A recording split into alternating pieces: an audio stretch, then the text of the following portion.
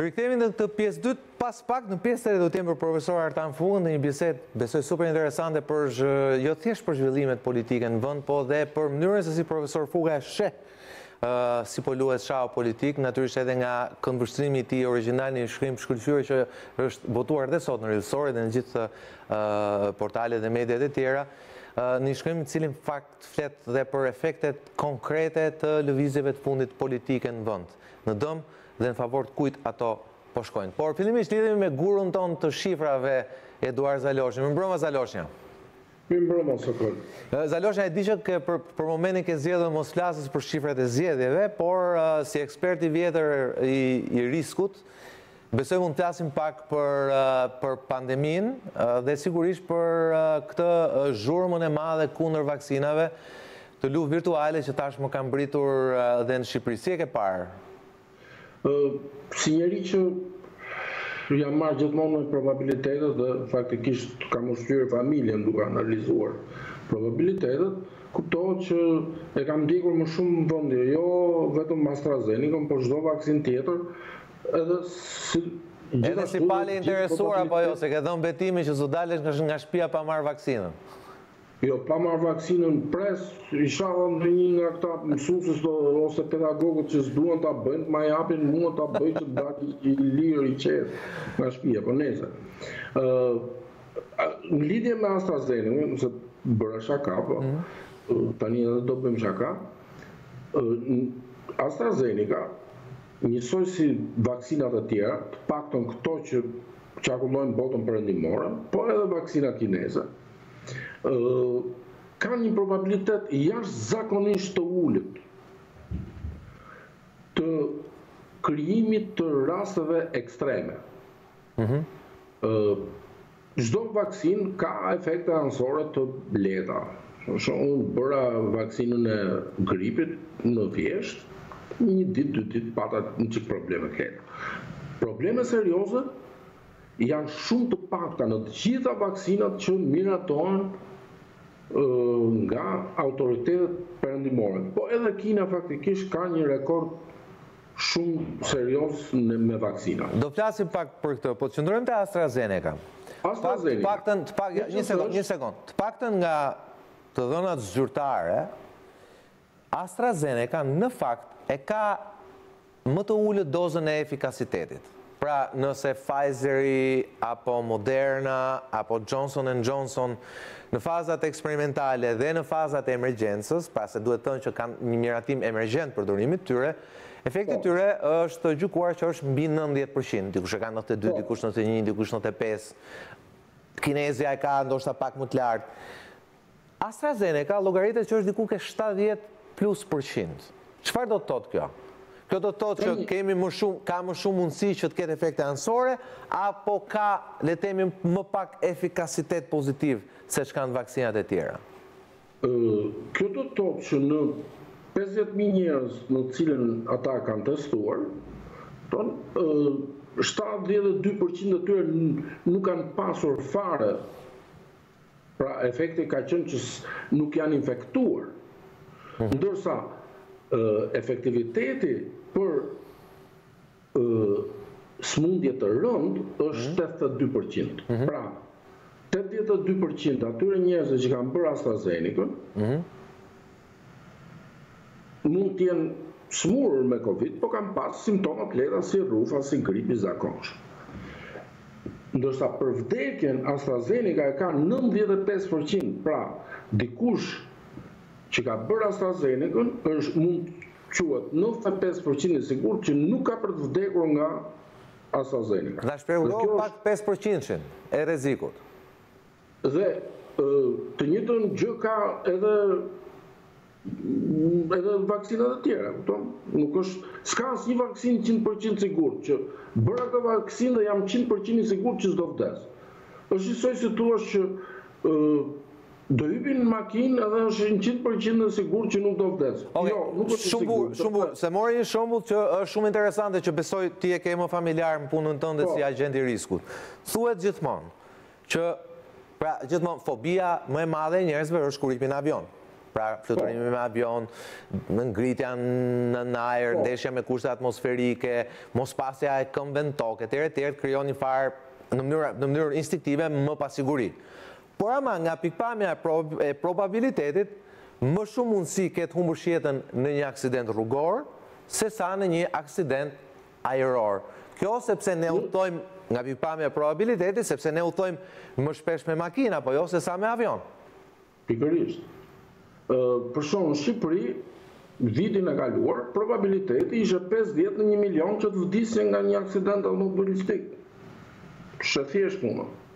Pra, kurse me avion, shqiptarë që të kenë vdekur në avion, të paktën dhjetë vjet e fundit unë nuk di të ketë ndodhur ndonjëherë. Mhm.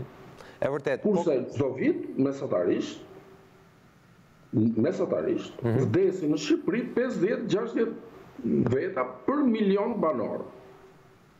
Në Amerikë për shembull vdesin çdo vit rreth tridhjetë e tre, tridhjetë e katër mijë njerëz në vit, që po ta përkthejmë për milion banorë, i bie rreth njëqind, njëqind persona në vit vdesin në Amerikë për çdo milion banorë. Ne kemi diku te pesëdhjetë, gjashtëdhjetë, varet nga viti. Viti i vjetshëm ishte më pak se kishte më pak lëvizje nëpër rrugë, kuptohet.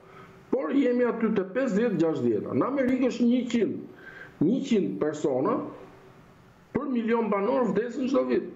Pra, kurse nga AstraZeneca për shembull, nga dhënat zyrtare të NHS, që është National Health Service në Britani, mbahet si sistemi shëndetësor më i mirë publik. Në botë, patjetër. Kanë në botë. Po, dhe atje kanë vdekur pasi kanë bërë, jo prej, po pasi kanë bërë vaksinën AstraZeneca, ka vdekur një për një milion. Një për një milion është probabiliteti mesatar në botë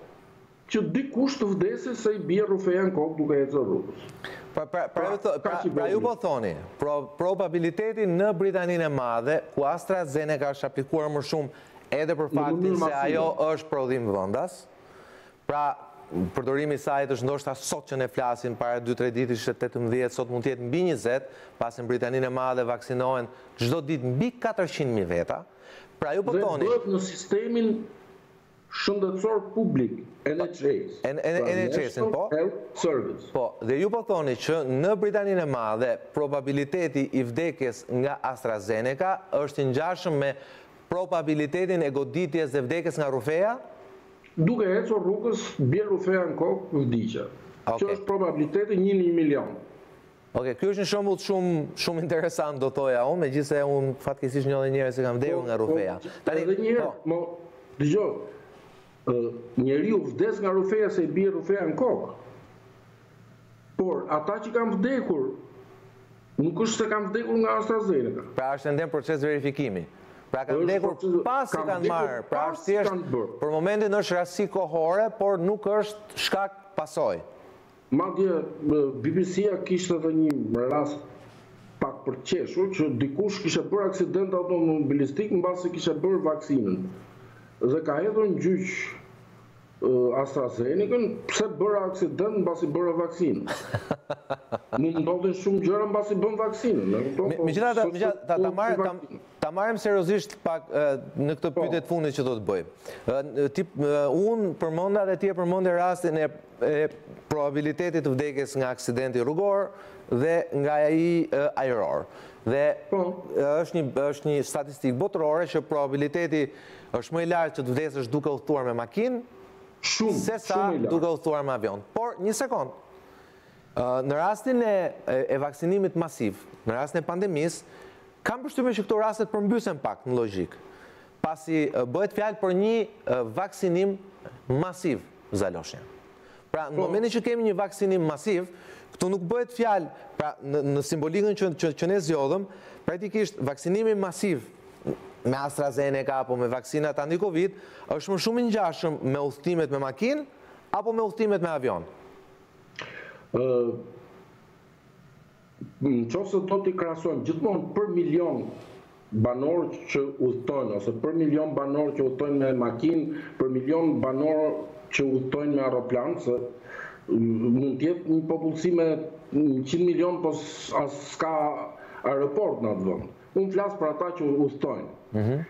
Dhe për ata që bëjnë vaksina, Se mund të ketë vende që akoma s'kanë filluar të bëjnë vaksinën, s'mund vdesin njerëzit kur s'janë bërë vaksina. Po se mund dali edhe njëri të thotë pashë njërin duke u vaksinuar me AstraZeneca në televizor dhe pastaj u smura, apo jo? Tani, kjo, kjo, kjo është, pra, gjithë problemi është se udhëtimet me makinë janë përditshme në gjithë botën.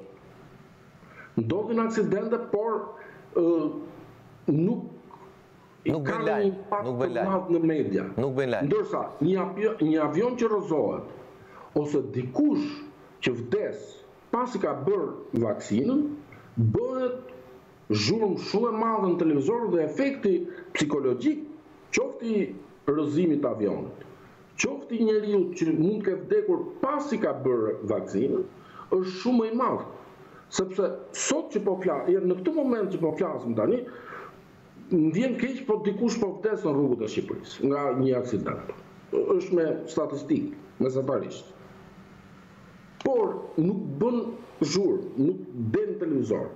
Në qoftë se vdes dikush që sapo ka bërë vaksinën, mbasi ka bërë vaksinën vdes, i ke të gjithë televizionet, të gjithë portalet, çdo gjë duke folur për atë rast. Pra, efekti psikologjik është shumë i madh. Zoti Zalosha, kam dhe një pyetje, kam dhe një pyetje të fundit. Në bazë të krahasimit edhe shifror të popullsisë midis Britanisë dhe midis Shqipërisë, do doja të pyesja çfarë ky probabilitet si mund të përkthehet shqip i efekteve anësore që ka AstraZeneca. Një sekond, vetëm një sekond. Po. Pasi jo me matematikë, por thjesht me një logjikë thjesht aritmetike, i bie që shkalla e efekteve anësore të cilat mbeten për t'u verifikuar, ta theksojmë këtë, pra nuk është lidhje shkak-pasojë, por është lidhje thjesht kohore, pra në timeline, pra ka patur efekte, korelacioni thjesht kohor, pra i ka ndodhur tromboza, embolia, infarkti në zemër, pasi ka marrë vaksinën, po jo ende e provuar për shkak të saj, Këto shifra në Britaninë e Madhe janë një në një pikë dy milionë. Po. Tani, e përkthyer kjo në Shqipëri, në rast se do të vaksinoheshin të gjithë shqiptarët. Pra le temi, sot ka dalë shifra zyrtare e KQZ-së që në Shqipëri ka zyrtarisht 3.4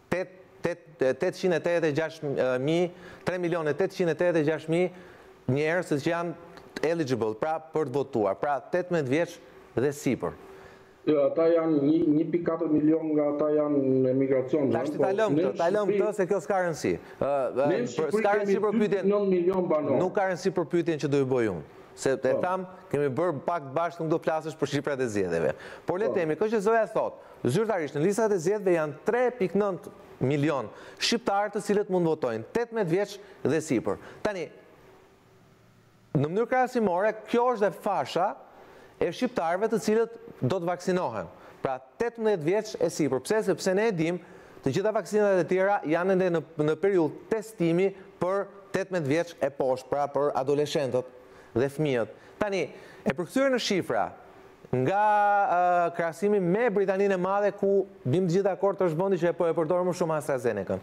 Çfarë probabiliteti ka që nëse vaksinohen të gjitha shqiptarët, pra tre pikë nëntë milionë shqiptarët tetëmbëdhjetë vjeç e sipër, e zëmë teorikisht, janë të gjithë vaksinuar, cila është shkalla e cili është probabiliteti në shifra reale Në shifra reale, sa raste mund të shfaqen në Shqipëri? Okej, Sokol, unë e kam bërë këtë llogari jo thjesht me, me, me aritmetikë të thjeshtë, po i jam futur statistikisht. Mhm. Dhe dua të sqaroj këtë gjë. E para një herë, banorë të rritur në Shqipëri, sipas Instatit dhe sipas Bankës Botërore, janë rreth dy pikë dy milionë banorë tetëmbëdhjetë vjeç e sipër që banojnë në Shqipëri. Nuk po them për një pikë katër që jetojnë jashtë Shqipërisë. Tani, ne vendi ynë ka moshë mesatare më të ulët se Britania. Pra, në qoftë se në Britani është një për një pikë dy milionë, në Shqipëri është ne pra gjithmonë me mënyrë probabilitare është një, në 1.5 milion. Mhm. Pra, në qoftë se bëhen të 2.2 milion banorët e rritur të Shqipërisë, mhm. vaksinohen të gjithë,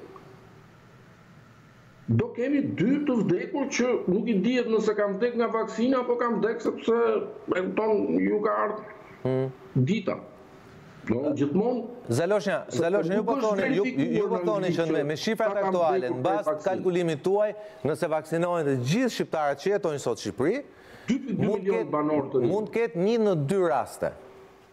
Dy raste gjithsej mund të kemi vdekje mhm. pas vaksinës, po jo sepse Ok, po themi që mund të ndodhi, si, po, po flasim për probabilitet. Tani, unë e di, unë e di që ju jeni një person pro vaksinës.